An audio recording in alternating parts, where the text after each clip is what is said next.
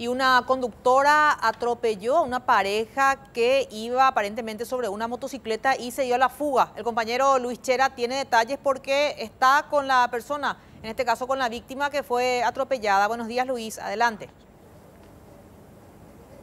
Sí, muy buenos días Patricia, el saludo también a todos los compañeros. Eh, efectivamente, este accidente ocurrió eh, el pasado domingo por la noche, estamos hablando en la intersección de Sucre y Bélgica. Vemos en imágenes ahora mismo que la mujer quedó prácticamente atrapada bajo el vehículo de, esta conductora.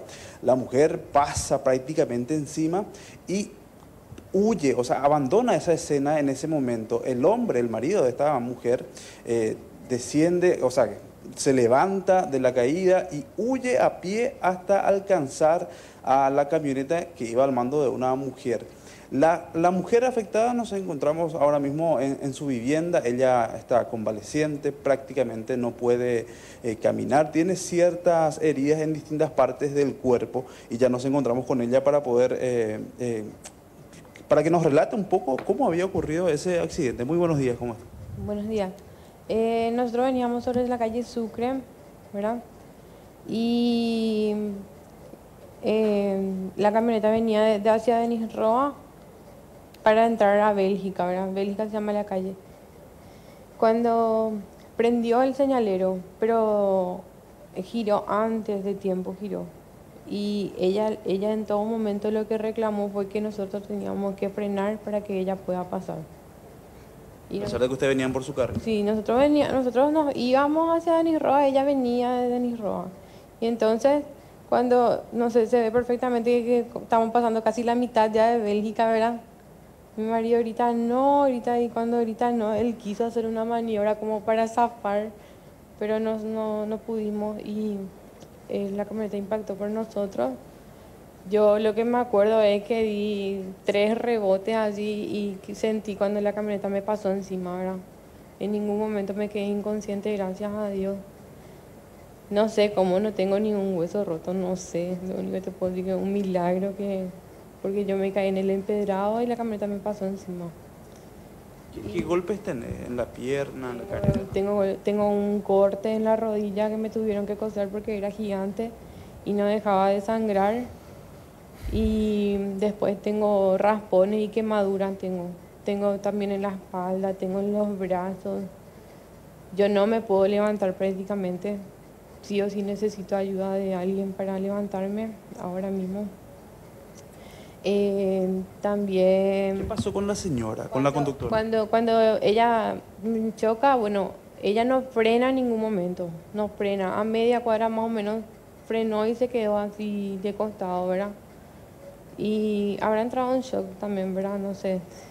Em, después, cuando mi, viste que mi marido se cae, ¿verdad? Y ve cuando me, me pasa la camioneta encima, entonces él ya pensó lo, lo peor y se levantó y se fue porque la camioneta no frenaba. O sea, se fue así, ¿verdad?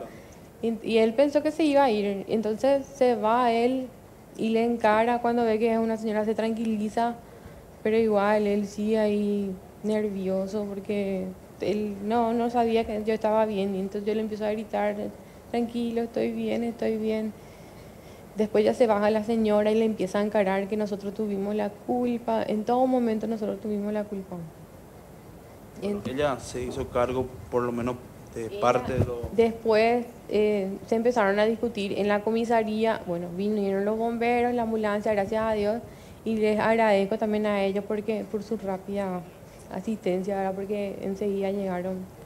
Y una vez que yo estaba en emergencia, ellos se fueron a la comisaría y la señora seguía hincando, ¿verdad? Diciendo que eh, nosotros tuvimos la culpa, este señor luego, ¿verdad? Así.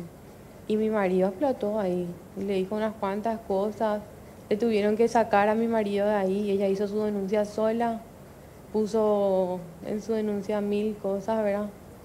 Y que nada que ver con el accidente. Yo me estaba muriendo ahí, pero ella en otra cosa estaba, ¿verdad? Pero, consiguieron el video?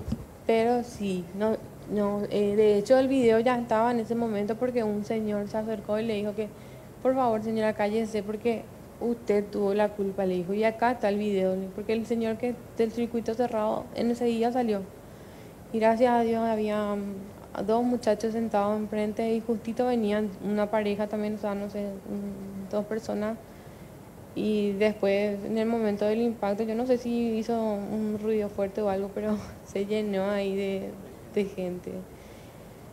Y cuando yo estoy en emergencia, eh, me hacen todos los estudios, estoy todo bien, no tengo ninguna fractura, gracias a Dios.